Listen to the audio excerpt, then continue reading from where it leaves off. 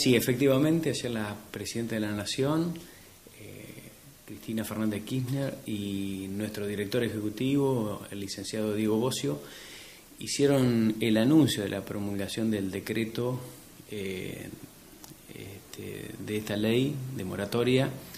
Y bueno, lo que nosotros le podemos decir a la gente, bueno, hay gente que ya se acercó, el primer paso que nosotros estamos solicitando para poder iniciar el trámite es la actualización de la acreditación de sus datos personales en esta oficina.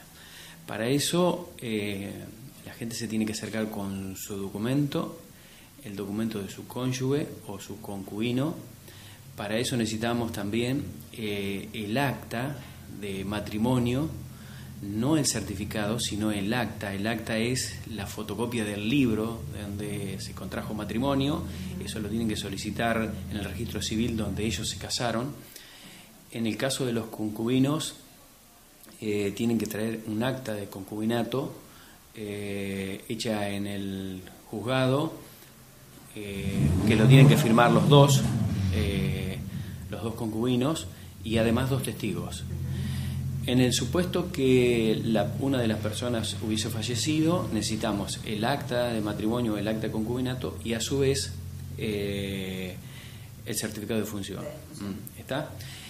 Teniendo esos datos, el otro dato adicional que nosotros necesitamos y aprovechando que hay una está la presencia de la FIP en nuestra ciudad, en la Plaza San Martín, necesitamos la eh, clave fiscal.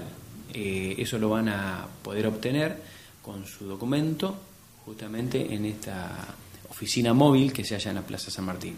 A 15 días aproximadamente esa clave vence.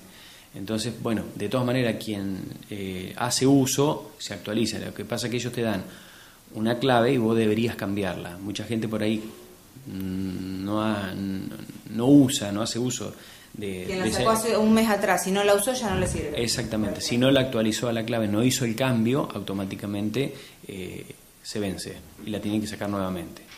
Así que bueno, repito, los documentos, el acta de matrimonio, el acta de concubinato en caso de, estar este, en concubinato, y en, para aquellas personas que, que se han separado de derecho, eh, y por ahí este, no figura en el acta de matrimonio. Porque, ¿Por qué se pide el acta? Porque generalmente en el margen se anota la resolución judicial donde la persona se separó. Eh, necesitaríamos otro tipo de trámite que es alguna constancia de la separación de, de hecho, para desvincular.